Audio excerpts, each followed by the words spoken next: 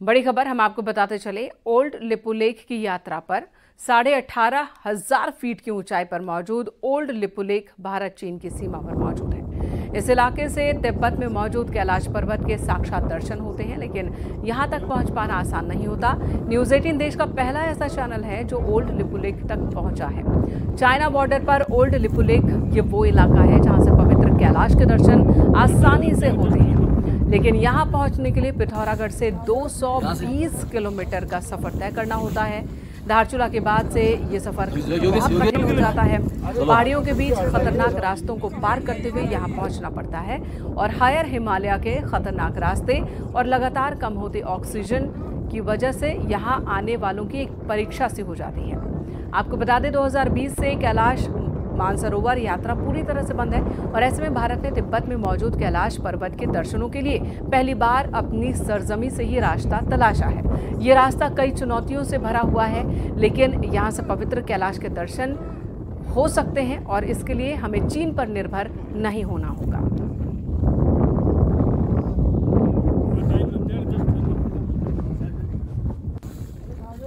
Live तस्वीरें आप देख रहे हैं। चीन की पाबंदी का मुँह तोड़ जवाब भारत ने तलाश लिया है। अब हम अपनी ही ज़मीन से कैलाश पर्वत के दर्शन कर सकते हैं। ओल्ड लिपुलेख ये वो सीमा है जो भारत और चीन के बीच मौजूद है। नो मैंस लैंड है।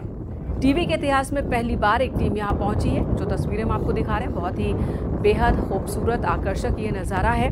और साथ ही कैलाश मानसरोवर की यात्रा चीन की ओर से बंद किए जाने के बाद कैलाश जी के दर्शन के लिए बड़ी संख्या में श्रद्धालु जो परेशान रहते हैं उनके लिए भी एक ज़रिया एक रास्ता यहाँ बन गया है। हालाँकि ये रास्ता बहुत ही दुर्गम है। यहाँ जो सबसे बड़ी समस्या है वो ये कि अभी तक पैदल ही यहाँ तक पहुँचा जा सकता है। 200 किलोमीटर से ज़्यादा की दूरी है जिसे पैदल पार करना होता है और इस बीच खड़ी चढ़ाई होती है। साथ ही बहुत ही खतरनाक ये रास्ते हैं। आप देख सकते हैं इन रास्तों को। पत्थर पूरे रास्ते छोटे छोटे कंकड़ जिन पर चलना होता है। एक तरफ़ ढलान दूसरी तरफ़ पर्वत। 220 किलोमीटर की ये दूरी है जो कि पैदल तय करनी होती है। महादेव बैठे ही ऐसी जगह है। कठिन यात्राएँ करनी पड़ेंगी ना अगर उनसे हमें मिलना है तो। लेकिन उन्होंने शक्ति दी है और वही सबको शक्ति देते हैं। मानसरोवर तो नहीं पर सामने भगवान भोलेनाथ शिव शंकर कैलाश जी के दर्शन कर मैं अभिभूत हूँ।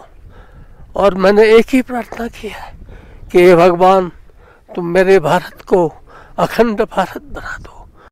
भारतीय टेलीविज़न के इतिहास में न्यूज़ 18 पहला चैनल बना है, जो ओल्ड लिपुलेख पर पहुँचा है। ओल्ड लिपुलेख पर हम लोग पहुँचे हैं, जहाँ से पवित्र कैलाश के साक्षात दर्शन हो रहे हैं। इस हाइट पर पहुँचना काफ़ी चुनौतीपूर्ण है, कठिन है, लेकिन ये सफ़र एक तरीके से काफ़ी कुछ सिखाने वाला है कि हायर हिमालयात में किस तरीके से जाया जाता है, किस तरीके से रहा जाता है और नेचर से कैसे खुद को एडजस्ट करना है, वो ये सफ़र आदमी को सिखाता है हमारे साथ कई अन्य लोग भी यहाँ पर आए हैं, जिनके लिए भी ये यात्रा काफ़ी कठिन थी, लेकिन यहाँ पर पहुँच वो काफ़ी सुकून महसूस कर रहे हैं। Vijayvardhan Upreti, news eighteen, old Lipulekh Pithoragarh.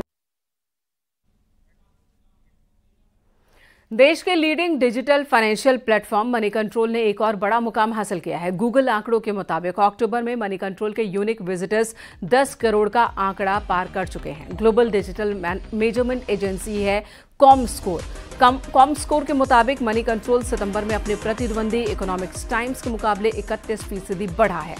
Money control के पेज व्यूज़ की बात की जाए तो ईटी के मुकाबले 40 फ़ीसदी ज़्यादा है। कम स्कोर के आंकड़ों से ये भी पता चलता है कि मनी कंट्रोल में लोग किसी दूसरे प्लेटफॉर्म्स के मुकाबले ज़्यादा टाइम स्पेंड कर रहे हैं। सितंबर में 407.48 मिलियन मिनट्स स्पेंड किया गया। मनी कंट्रोल को सबसे ज़्यादा देखा लोगों ने। Moneycontrol premium service platform Moneycontrol Pro के भी अभी हाल ही में 10 लाख सब्सक्राइबर्स पार हुए हैं। मनी कंट्रोल आज देश का सबसे बड़ा डिजिटल न्यूज़ सब्सक्रिप्शन है। साथ ही इसकी गिनती दुनिया के टॉप 15 डिजिटल प्लेटफॉर्म्स में होती है।